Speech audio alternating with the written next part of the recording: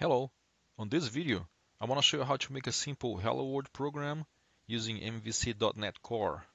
And here I have a Visual Studio 2017 and before you do anything make sure you update your Visual Studio. To do that go to Tools, Extensions and Updates and right here on Updates make sure there is no update available for you. I just updated mine so I have nothing here. And now I'm going to create a project.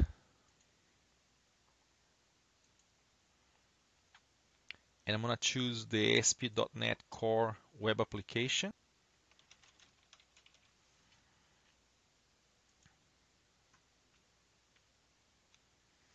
And now I'm going to click on empty.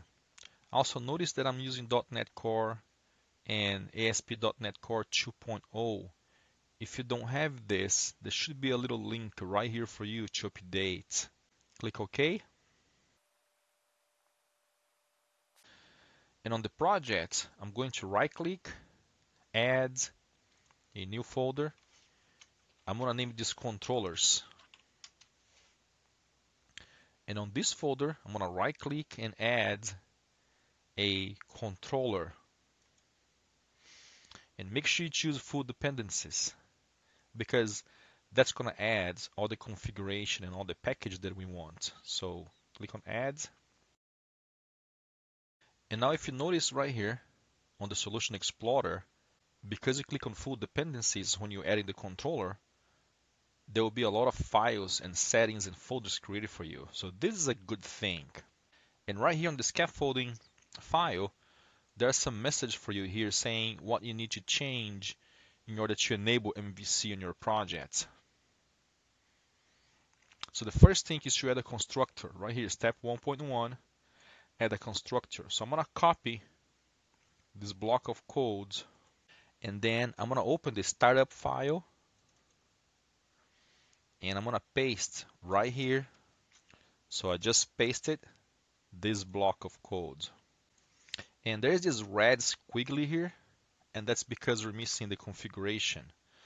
And right here on the top, I'm gonna put the using the configuration. So using Microsoft.extensions.configuration. And now it's happy right here. So I'm gonna go back to the scaffolding. The second step is to add the framework services. So I'm gonna copy these two lines and then back to the startup inside the configuration services method. I'm going to paste that code. And the last step is on the configure method. So I'm going to copy all the contents from inside the configuration method. And I'm going to replace by these items here so the startup file is used to put the settings and configurations for your project. And the thing that I am interested the most here on this file is the route. So on the template here, I have controller equals home, and then I have action equals index. Now the home controller and the index action is very important for now, and going to see why. So first, let's create a home controller. So right here in the controllers folder, I'm gonna right click and add, and at this time, I am not gonna click on controller. I'm gonna click on new item, and I'm gonna search for controller, and then I'm gonna choose the MVC controller class. Now the name of the file is home controller.cs. Every controller file, we have the word controller in it. So this is our home controller. So click on add. And there is an action result method right here called index. So this name index has to match the action index. And the reason it has to match is because this is the file that it's going to be loaded first. So now on views, I'm going to right click and add a new folder and I'm going to call this folder home. The reason I'm going to call this folder home is because there is a controller called home and also on the default map the controller is home. Every time this project runs it's going to look for the home controller and then it's going to look for the index file to load first. So we have the home controller here.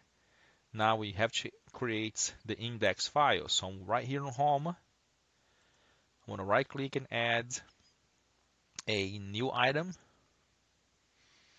And I'm going to search for view.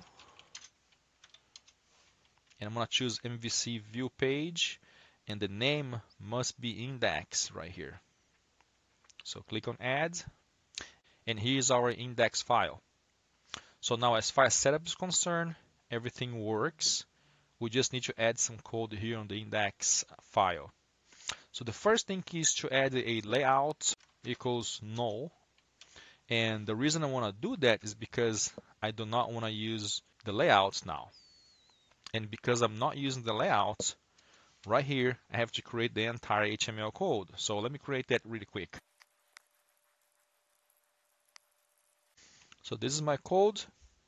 And now I'm going to run this program. To run it, I'm going to go to debug and then start without debugging. And here's my Hello World program.